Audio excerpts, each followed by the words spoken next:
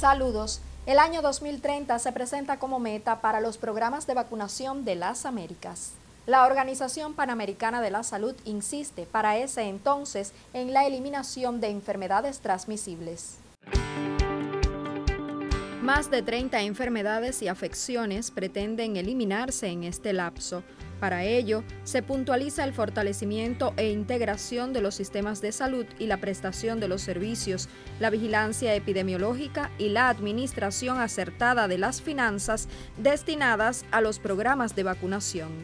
La prevención de enfermedades, insisten expertos, evita futuras crisis sanitarias. Hay mucho por ver aquí se ha trabajado mucho por generar un impulso en el incremento de la calidad de vida de las personas.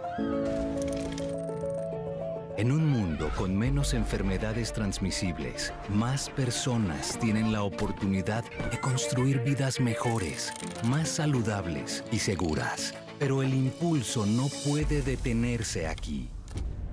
La pandemia de COVID-19 nos ha demostrado que mientras las enfermedades transmisibles sigan propagándose, nuestra calidad de vida está en peligro. Todos estamos en riesgo hasta que estemos seguros. Por eso, la iniciativa de eliminación de la OPS se ha propuesto eliminar más de 30 enfermedades transmisibles y afecciones relacionadas para el 2030. Para lograrlo, debemos asegurarnos de que todos en las Américas tengan acceso a vacunas y atención médica de calidad, que incluya diagnóstico y tratamiento oportunos, instalaciones de higiene, agua y saneamiento. Esto no es un sueño, es un derecho y una responsabilidad de todos. Todos deberíamos tener igualdad de oportunidades para disfrutar de una vida saludable y plena. Hay mucho por ver aquí. Trabajemos juntos por un futuro libre de enfermedades para todos.